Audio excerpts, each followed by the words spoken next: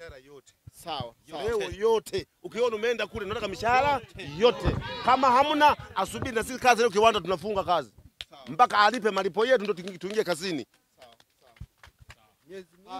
Miezi minne, unajua ndugu yangu katibu, watoto leo leo tuna yani, sijui tuseme jani, sio miezi minne tu, ni miezi minne pamoja na MCC. Eh, miaka mitano.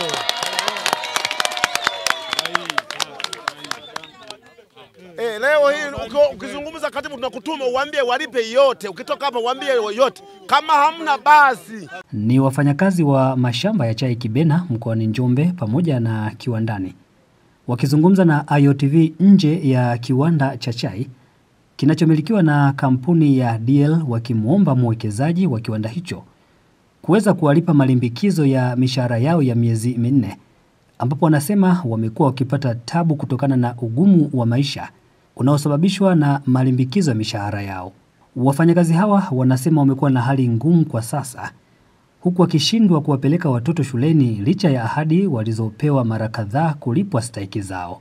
IOTV tumefika katika ofisi za kiwanda hiki ili kuzungumza na uongozi juu ya madai ya wafanyakazi hawa, ambapo tumekutana na Gerard Ngenzi ambaye ni meneja wa kiwanda, ambapo amesema hawezi kuzungumza chochote kwa kuwa sio msemaji wa kampuni. Hata hivyo, miezi kadhaa iliyopita uongozi wa kampuni ya DL ulifika katika ofisi ya mkuu wa mkoa wa Njombe Anthony Mtaka ili kuzungumza changamoto zinazoikabili sekta ya chai, ambapo mkurugenzi wa kampuni hiyo Bwana David Rangati alieleza kuwa sekta ya chai inakabiliwa na changamoto kadhaa, lakini anaamini changamoto hizo ni za muda mfupi na wafanyakazi watalipwa fedha yao. Kwa jina naitwa Reginanti Joseph Ngaluhula Nyakunga. Tunachotaka sisi tulipwe mishahara yetu ya miezi minne. Tumetumika sana, tumetumika vya kutosha, tumedanganywa vya kutosha, tumevumilia. Sasa imefika mahali uvumilivu wetu umeishia hapa. Natambua yuko waziri wa kilimo, tumeenda mbali sana tukimtumia mkuu wa nchi. Taarifa hizi tunaomba zimfikie na angalie kwamba Watanzania wanataabika kwa kiasi gani. Mishahara miezi minne sio kitu kidogo. Chai tumezigaramia kwa gharama kubwa mno, lakini leo hii ukienda shambani sio chai tena, imekuwa ni miti. Inasikitisha, inahuzunisha. Tuna familia, lakini pia tuna ndugu wanaotutegemea. Tunatamani siku moja waje wafanye kazi kwenye eneo hili. Hawawezi kuja kufanya kazi mahali hapa kwa sababu hatutakuwa na chai tena, badala yake tutakuwa na miti. Majina naitwa Pelegelina Lauliano Mbunda, ni mfanyakazi wa Kibenati. Lengo na mazumuni ya kukusanyika hapa ni kudai haki yetu, ikiwemo mishahara pamoja na NSSF. Mimi ni mchumaji Itambo, unaenda shambani kwa siku saizi, sidhani hata kilo mia tano au kilo elfu tatu hadi elfu nne sidhani kama zinafika. Mtu gani asiyekuwa na uchungu hata kitendea kazi chake? Mashine zinakuwa mbovu, yaani utashangaa tu ni stata ndogo, fundi anaumiza kichwa. Wembe, yani inayosababisha hizo chai zisiharibike, yaani unapita unachuma kama hujachuma ana uchungu na hiyo zao analopata. Hafu leo hii anarudi kwetu anatuambia hana hela, wakati mazao yanaharibika shambani. Atapataje hela wakati lile zao analiacha linaharibika?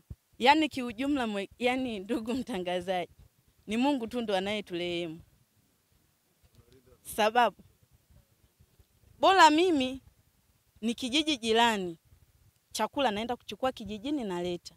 Changamoto kwa wale wageni sababu mimi nina chakula halafu mwenzangu naona hana nini chakula. Leo nitampa, kesho nitampa. Je, nitaweza kumpa kila siku? Sitaweza. Na ye yule anayekuja kila siku kwangu hataweza kuvumilia, kwanza atajisikia aibu. Wewe utakuwa na moyo wa kusema ngoja nimsaidie mwenzangu, lakini yule anayepokea ataona aibu kwamba ni nini, nimekuja kufanya nini? Mimi nimeanza kazi mwezi wa tisa, mshahara wa mwezi wa tisa tulikuja kupata wa kumi na moja. Je, ningekuwa sina yani sipo humu jirani ningeweza kuvumilia? Na isitoshe nina familia na inasoma. Yani tumezua picha mbaya hadi mashuleni sisi wazazi. Wafanyakazi wa kibenatini wasumbufu kutoa mish, nini michango shuleni. Lakini sio lengo, huyu mzazi hana lengo la kuto kutoa nini michango kule shuleni. Kulingana na kazi yeye anayoifanya hapati kipato chake kwa wakati. Eh, Kwa jina anaitwa Chesco Mligo, ni mfanyakazi wa muda mrefu hapa kampuni. Kwa hiyo nimeanza kazi mwaka elfu moja mia tisa tisini na tatu. E, tokea huko nyuma, kwa kweli kampuni yetu hii kampuni ilikuwa vizuri sana na mshahara ilikuwa inatoa kwa wakati. Hivi tuna miaka mitano sasa hivi. Kwanza NCCF hajaingiza hata shilingi mia Haya, mishahara yenyewe ni ya kusuasua, analipa mwezi mmoja, tunafanya miezi mitatu, analipa mwezi mmoja. Ukidai mwezi mmoja, anawalipa uh, maneno. Kwa hiyo mpaka sasa hivi hatima yetu kuja leo hii hapa kwamba tuna miezi minne sasa mshahara hatujapata, na watoto nitakuwa tuwapeleke shule, wamebaki wako nyumbani. Haya, wengine kama mimi, mtoto mwingine ipo chuoni, kwa hiyo nitakuwa hivi mpaka sasa hivi ninavyoongea hana chakula kule. Sasa sijui ni uhakike, sasa sijui wenzangu wanataka atafute hela mwenyewe kule. Yule ni uhakike, sijui atatafuta hela mwenyewe. Sasa akirudi, mimi aibu kwangu au ya kampuni? Sasa chonde, namuomba sana Mama Samia, kilio hiki cha wafanyakazi naomba akisikie, na mwakani mwakani ni uchaguzi. Sasa sijui kama akiacha sisi tufe kwa hali kama hii, hapa pote kula zake zitapotea, zitapotea. Kuna wabunge, kuna madiwani, kama wanasikia hili jambo e, wanakuja tu kipindi cha, cha kampeni kwamba naomba kula, lakini haangalii watu wake wanafanya nini. Tunataabika hapa mpaka sasa hivi, tunataabika. Ukienda mitaani kukopa, wanakwambia we mfanyakazi wa chai ah, hatukukopeshi labda kwa, kwa. Sasa naenda pale nachukua elfu kumi kwa shilingi elfu tatu elfu kumi unalipa elfu tatu sasa eh, una laki elfu thelathini Hebu niambie kwa miezi minne hii itakuwa shilingi ngapi? Nadaiwa mitaani, ananipa mwezi mmoja, nitalipa hiyo hela? Sasa nitaambuliwa kuuza vyombo na kuwekeza nyumba. Asante.